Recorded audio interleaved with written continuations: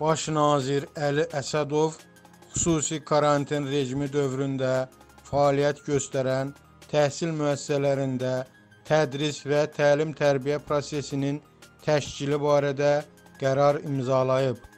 Qərara əsasən tədris prosesi zamanı sanitar epidemioloji vəziyyətə ciddi nəzarət ediləcək. Təhsil Nazirliyinin mətbuat katibi Cəsarət Valihov tədris prosesinin həyata keçirilməsi zamanı diqqət yetiriləcək xüsusi qaydaları açıqlayıb. Yeni tədris ilində dərslərin başlanması haqqında xüsusi qaydalar tətbiq ediləcək.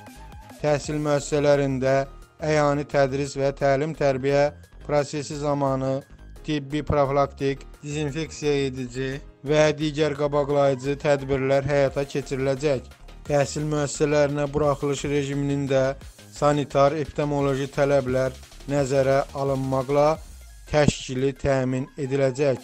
Sıxlıq yüksək olan təhsil müəssisələrində isə siniflərin yarım qruplara bölünməsi, həmçinin yaş qrupları üzrə dərs və dərsdən kənar məşğələlərdə növbəlilik rejimi tətbiq ediləcək.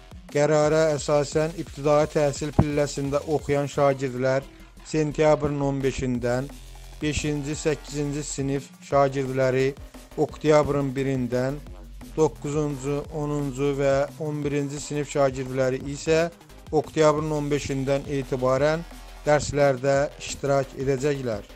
O ki, qaldı ali təhsil müəssisələrinin tələbələrinə onların da müvafiq qrafik və cədvələ uyğun dərslərdə iştirakı tövsiyə edilir. Məktəblilərə dərs vəsaitlərinin verilməsinə gəlincə, dərsliklərin qəbulu və şagirdlərə paylanması müəyyən edilmiş növbəli qrafik üzrə və sanitar epidemioloji qaydalara riayət etməklə həyata keçiriləcək.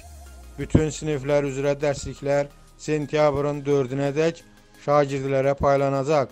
Bütün bunlarla yanaşı növbəti gün və aylarda pandemiya ilə bağlı vəziyyət nəzarətdə saxlanılacaq və infeksiyanın yenidən genişlənməsi təhlükəsinə uyğun qərar qəbul edilə biləcək.